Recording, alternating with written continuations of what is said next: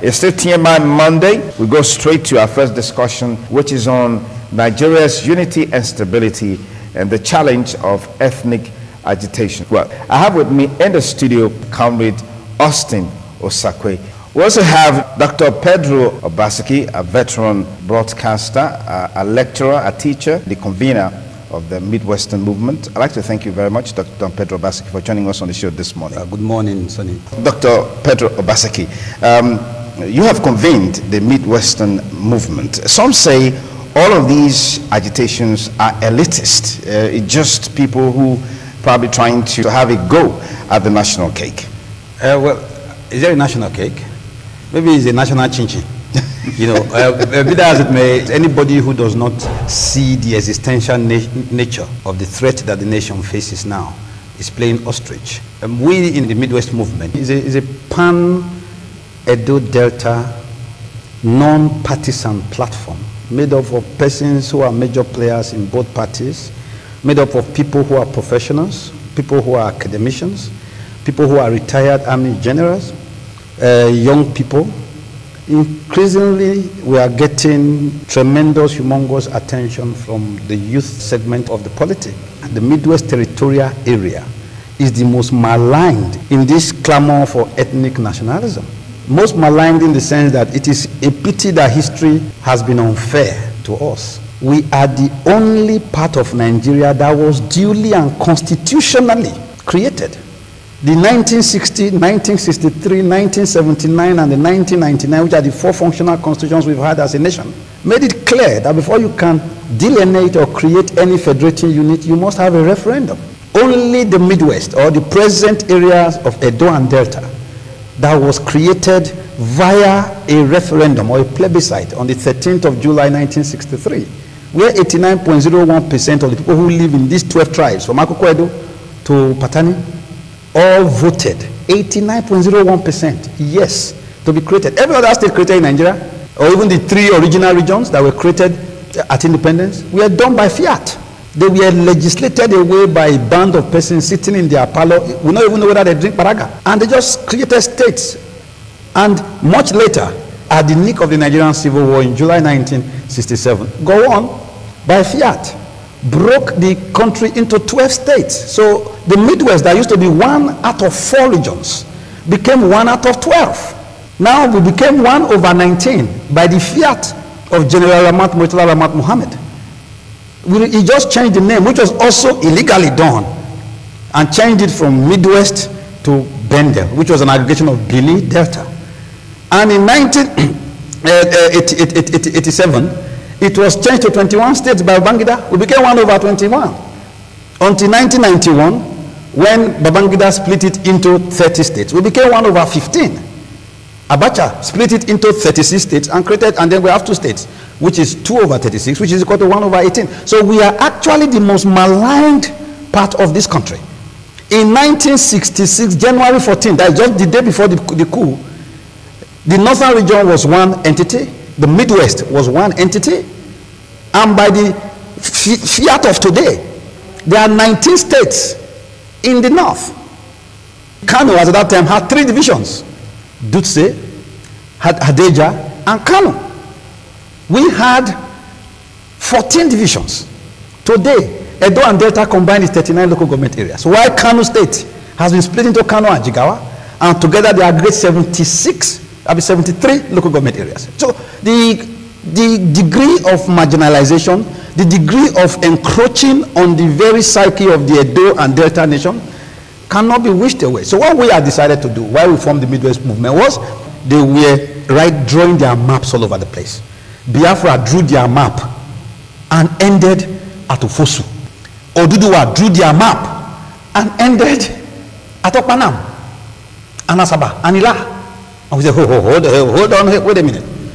The heroes past of this same place had fought assiduously from the formation of the original Midwest movement in 1951. Now are, you are taking us back there. Meanwhile, everybody must know that when a war breaks out, if it does break out, may it not happen. Amen. Because war has no pretty face. War fine only for television. But if it happens, the Edo and Delta peoples are at the very epicenter, the nexus. Why, why, is that, why is that so? Because you cannot traverse from the south south to the north. You cannot traverse from the east to the west. You cannot traverse from the west to the north of Nigeria without passing through a territory of the old Bendel or the Midwest. And in 1967, while that war broke out, less than two months after the war broke out, in August 1967, they flooded Edo, Edo and Delta State in 24 hours. In 24 hours, Major Banjo was at Dennis Osadebay Avenue. And it is reputed, it is reported then that David Ejoor, who was then the military governor of, of, of, of, of, Midwest State, had to run out of Benin on a bicycle. But we, why we formed the Midwest movement is to make them understand that this is not 1967. Okay, let, let, let, me, let me pause you there. Okay, exactly what I was coming to with uh, Dr. Pedro Obaseki. Uh, people have also talked about uh, devolution of power as a model to addressing. Uh, I, I have a, a very specific, but not diametrically opposite, but a very specific. When you say restructure, restructure, what does that mean? It's just changing. So, what are you changing to? What is the modus? What is the status quo that you want to change from. Restructure is to make a, an entity take another form. But that is not what I think we should do. We think that there should be a refederalization because the problem is the dismantling of the federal arrangement that was done by men who had heads, that were done when men were men, to use that cliche, and women were won by those who deserved them. In nine, from the 1948 constitution of, of, of, of, the, Richards, the Richards Constitution, through the Macpherson Constitution, through the Independence Constitution, Nigerians sat at tables. So if you were an Itsekiri man, you are sure that there is as oppressed. So there was a conference of nations sitting on tables to negotiate. He, he used the word. He said we shouldn't negotiate out of fear, but we should not fear to, ne- to yeah. negotiate. Yeah. And so there was a reasonable agreement. And the consideration was simple. It is called the 50 30 20. The 50 30 20, all Nigerians must know today, is the original federal arrangement where the constituent region or the federating unit holds on to 50% of the total resources, earnings, accruables coming from it, both internally generated and other sources of revenue, including the natural resources. And then 30% is put in a federation account. Then 20% goes to the federal government. Now, when the federal government collects 20 from 36, it still remains a huge behemoth. Meanwhile, that state, that is why Ogbemudia would have been able to build three stadia in the old Midwest at almost one at the same time, building Ogbe Stadium and building Warri Stadium and building uh, Asaba Stadium at one at the same time because the resources thus were, were available. Now, in the constitution from 1979 to 1999, there is absolutely no mention of that arrangement. In his last word, he said, a return to fiscal federalism. Federalism is a fiscal affair, is a financial affair. Then that 30% that is put in the federation account is now redistributed among all the federating units according to demography, according to population. That is how it is done. Nigeria is a skewed federalism and a federalism that exists only on the face of the paper the constitution is printed on. Nigeria is a unitary system of government that parades itself as a pseudo federalism. There need to be a structural dismantling of the Nigerian Federation as it is presently constituted. Anybody who says anything opposite of that is, only, is not only playing the ostrich, but is also very, very, very economical with the truth. That is where we must go. A refederation, a return to the pre 1966 John Keating moves of all the military boys. So, but those set of people whom we had such skewed ideas over, sat and over time between 1966 and then first 1979 and later from 1983 to 1999 dismantled the very fabric upon which this nation was built. I'm talking about the physical federalism that they dismantled. So today they give us 30% derivation. Derivation for what? It is like stealing a man's property and then allowing him to peep at that property through the window. That is what it is. So, number two, when you balkanize the country, I remember when they were fighting for state creation, Obafemi Awolowo said, once you start creating states, until my village Ikenne becomes a state, we won't stop.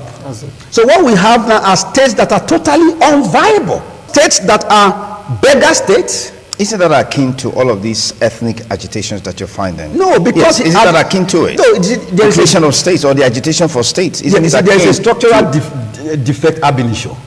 Because people agitate for those things as a result of the perception of marginalization. Let me give you an example of this Midwest. The Beninese and the Urhobos were the majority in that entity. But there was a fine arrangement that did not destruct or disrupt the, the cosmic balance of the Midwest of Bendel by ceding to the Anioma to a man from Oshimili, Dennis Chukwude Osadebay, as prime minister, as premier, as the executive officer of the state. But it was from a minority. And the deputy was John Ekpere Otobo from Isoko, another minority. When we came back in 1979, today the Esan nation makes up 16 to 17 percent of Edo State. So in a larger state like Bendel, it was actually less than 7.8. But we considered the governorship to the Esan nation. In Ambrose Alli, his deputy was Demas Akpore.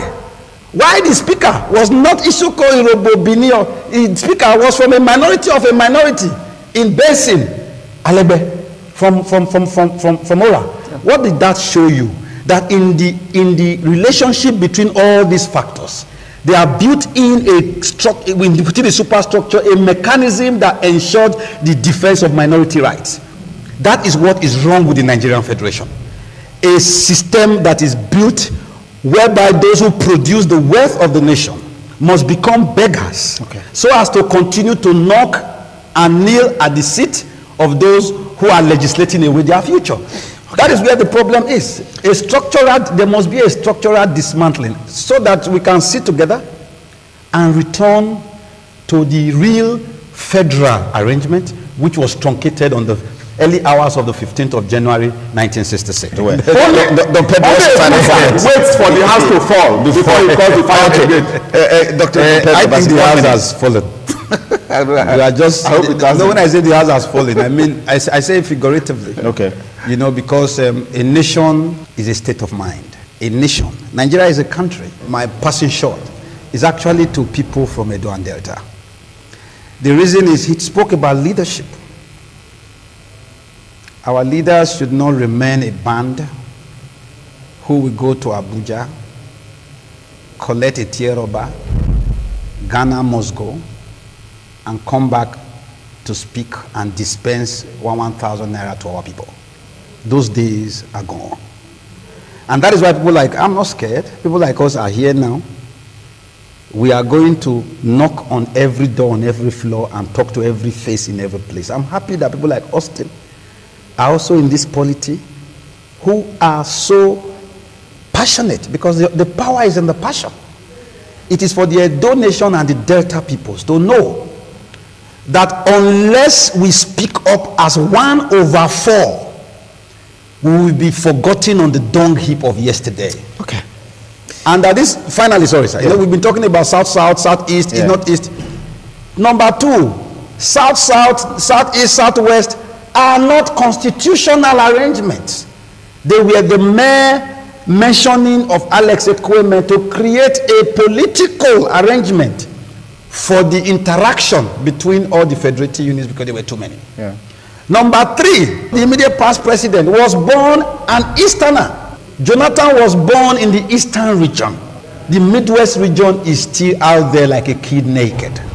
And finally, when Nigeria stopped is real federalism, the Edo and Delta peoples were negotiating and interfacing with Nigeria as one over four.